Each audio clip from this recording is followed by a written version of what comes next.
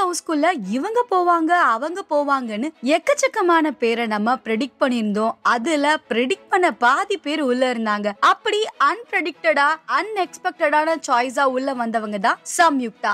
சம்யுக்தா யாரு? இவங்க முன்னாடி என்னெல்லாம் பண்ணிட்டு இருந்தாங்க அப்படின்னு தெரிஞ்சுக்கிறதுக்கு நிறைய பேருக்கு ஆர்வம் அதிகமா இருக்கு. சோ உங்களுக்காக தான் இந்த வீடியோ சம்யுக்தா சென்னையை சேர்ந்த ஒரு மாடல் இப்போ இவங்களுக்கு முப்பத்தாறு வயசு ஆகுது.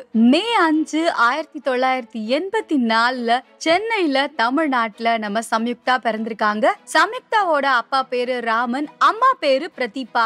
இந்துஸ்தான் இன்ஜினியரிங் காலேஜ்ல தான் இவங்க அவங்களோட ஸ்டடீஸ கம்ப்ளீட் பண்ணாங்க. அதுக்கப்புறமா ஒரு சாஃப்ட்வேர் டெவலப்பரா இவங்களோட கெரியரை ஸ்டார்ட் பண்ணாங்க.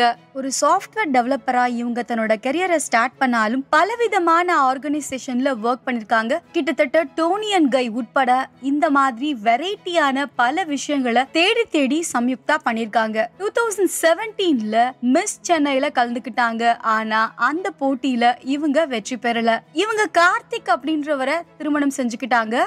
இப்போ இவங்களுக்கு நாலு வயசுல ஒரு சன் இருக்காங்க. ராதிகா சரத்குமார் லீட் ரோல்ல நடிச்சிருந்து சன் டிவில டெலிகாஸ்ட் ஆன சீரியல் தான் சந்திரகுமாரி. அந்த சீரியல்ல சம்யுக்தா ருத்ரா அப்படின்ற ஒரு நெகட்டிவ் கேரக்டர்ல நடிச்சிருந்தாங்க. இந்த கேரக்டர் பெரிய அளவுல பேசப்பட்டுச்சு. இதுக்கப்புறமா அவங்க ஒரு தமிழ் படத்திலும் நடிச்சிருக்காங்க. எஸ் தனுசு ராசி நேயர்களே படத்துல சம்யுக்தா ஆக்ட் பண்ணிருக்காங்க.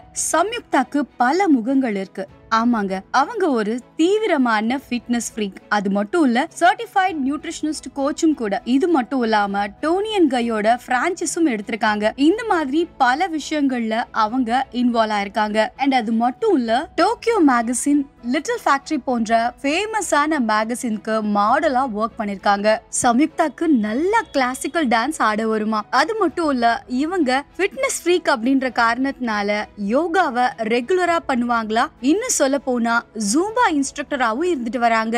அண்ட் இது எல்லாத்தையும் தாண்டி French loaf and Toni and Guy இதோட இந்தியாவோட ஓனர் அப்படின்ற விஷயத்த சம்யுக்தா அவங்களோட ப்ரொஃபைல்லயே மென்ஷன் பண்ணிருப்பாங்க. அண்ட் அது மட்டும் இல்ல பிக் பாஸ் என்ட்ரி அப்பவே அவங்க நான் பல பிசினஸ் பண்ணிட்டு இருக்கேன் அப்படின்றத நம்ம உலக நாயகன் முன்னாடியே சொல்லியிருந்தாங்க.